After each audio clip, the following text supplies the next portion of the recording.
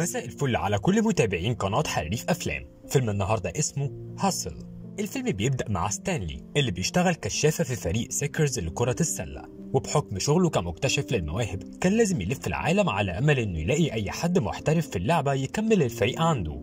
وبيكون معاه قائمة بأسماء اللاعبين اللي مفروض هيروح لهم. ولكن للأسف بيأس ستانلي في النهاية من كتر محاولاته وما بيلاقيش حد مناسب للفريق فبيضطر يرجع للنادي تاني. وبيكون في اجتماع معمول بسبب أزمة اللعيبة اللي في الفريق. وبيتكلم ستانلي وبيقول إنه لف ودور في كذا بلد وكل الأسماء اللي في القايمة مش مناسبين. وبيتكلم فين ابن مستر ريكس اللي هو صاحب النادي وبيقول إن من ضمن قائمة اللعيبة دي كان في لاعب ممكن ينجح ويبقى كمان البطل بتاع الفريق. ومن كتر الإحباط اللي فين بيتكلم بيه عن ستانلي بيبان إنه مش بيحبه خالص. وبعد ما بيخلص الاجتماع بيخرج يركب عربيته عشان يروح ولكن ريكس بيوقفه وبيركب معاه. وبيقولوا إنه شغله عنده في الفريق بسبب إنه مجتهد وحقاني ويمكن ده السبب اللي فين بيكرهه عشانه. بعدها بيبشروا إنه من النهارده مش هيشتغل تاني كشافة للفريق وهيشتغل مساعد المدرب وبياخدوا يوديه له أوضة مساعد المدرب وبيقولوا إن الأوضة دي كانت بتاعة عمي زمان أول ما اشترى النادي ده.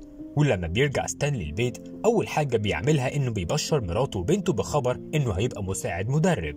وطبعا بيفرحوا له جدا لما بيسمعوا الخبر ده لأنه بعد كده مش هيسافر كتير وهيقضي معاهم أكبر وقت ممكن. وبالليل بيوصل ستانلي بنته بعربيته لأصحابها عشان يخرجوا مع بعض. أما هو فلف ورجع تاني ولكن أثناء ما كان في الطريق بيسمع في الإذاعة إن مستر ريكس مات. فبيزعل جدا من الخبر ده لأن ريكس هو اللي كان دايما بيشجعه ومؤمن بقدراته. ولما بيروح العزا بتاعه بيتكلم مع كاثرين بنت ريكس وبيعرف منها إنه بعد كده فين هو اللي هيدير الفريق.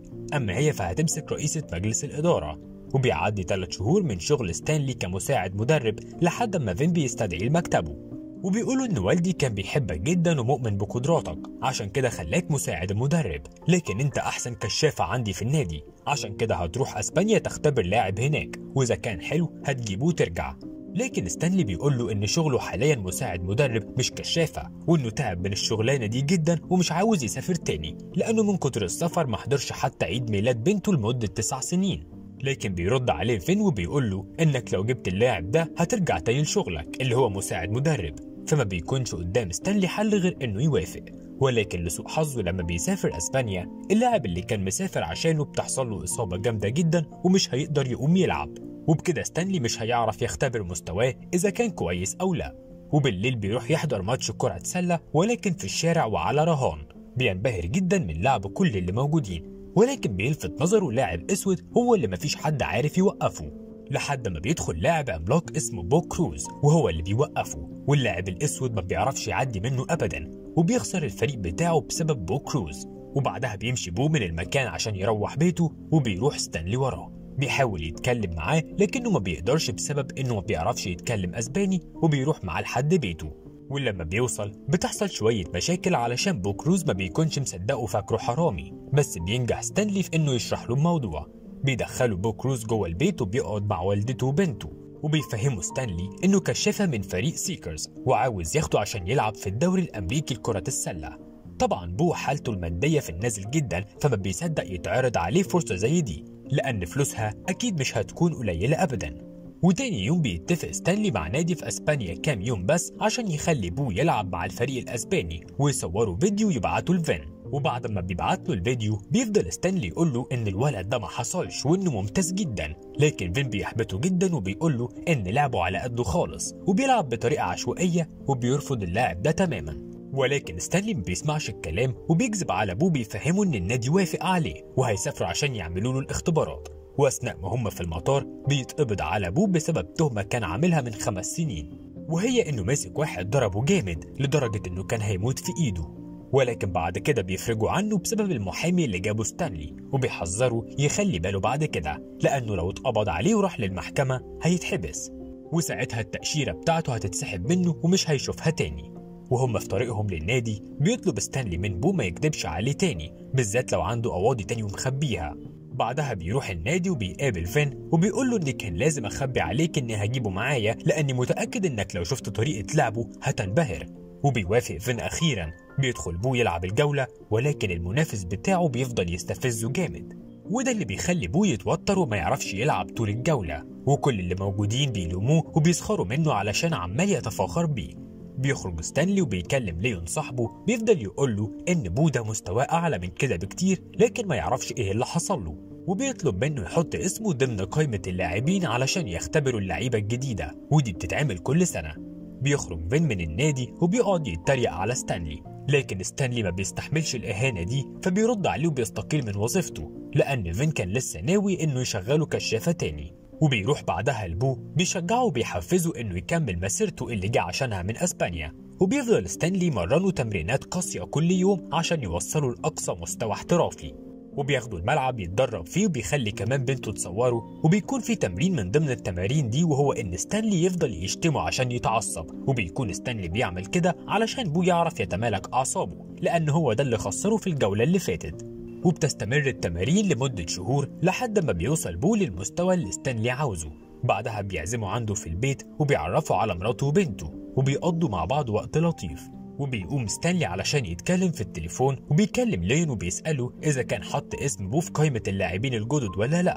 لكن بيقول له ليون أنت جايب لي واحد اسمه مش متسجل في النادي وكمان عليه سوابق وعاوزني أحطه مع أسماء اللاعبين الجدد. ده حتى فين طالع في كل القنوات وعمال يتكلم على الموضوع ده. فبيروح ستانلي بالفعل يشوف اللي ليون قال له عليه وفعلا بيلاقي فين طالع على معظم القنوات بيتكلم في الموضوع وبيقول إن بو مش من ضمن فريق السيكسرز لا هو ولا ستانلي وبيزعل بو جدا من اللي سمعه وبيسيب بيت ستانلي وبيمشي وبعد ما بيمشي بيطلع ستانلي وراه وبيفضل يدور عليه لحد ما بيلاقيه ولكن بيتعصب عليه بو جامد لأن ستانلي خدعه وما قالوش من الأول خالص إن الفريق ما قبلوش وبسببه خسر شغله في أسبانيا. وبيكون ستانلي يائس من المحاولات وجاب آخره لحد ما بنته بتقترح عليه فكرة. بتفكره بدكتور جاي صاحبه. بتقول له إنه منزل فيديو على صفحته جايب 2 مليون مشاهدة. ولو عاوز بو يتشهر والناس كلها والصحافة تتكلم عنه روح لجاي وخليه يصوره فيديو وينزله.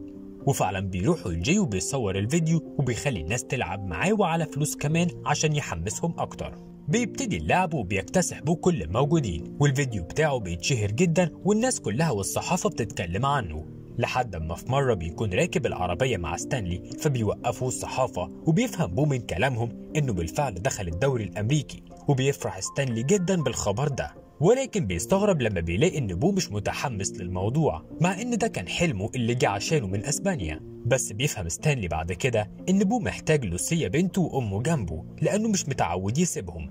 فبيروح ستانلي بعد كده يجيب مراته وبنته من أسبانيا على حسابه وبيفرح بو أول ما بيشوفهم.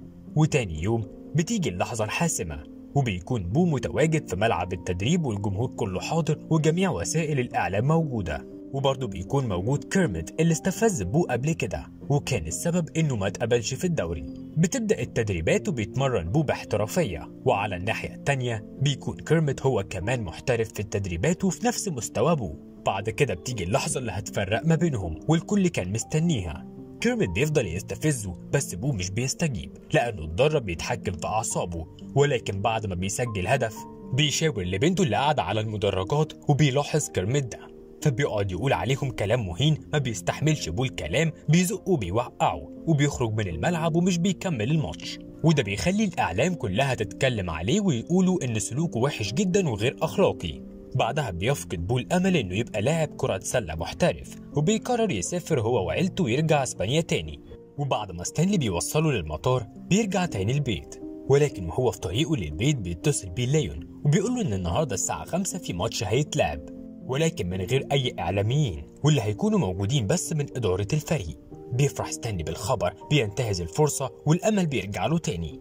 وبيروح على بو وبيلحقه قبل ما يسافر وبياخده بيوصله في الميعاد اللي اتقال لهم عليه. وهناك بيقابل ستانلي كاسرين وبتقول له إنها هترجعه من تاني مساعد مدرب لأنها بقت رئيسة النادي بدل أخوها.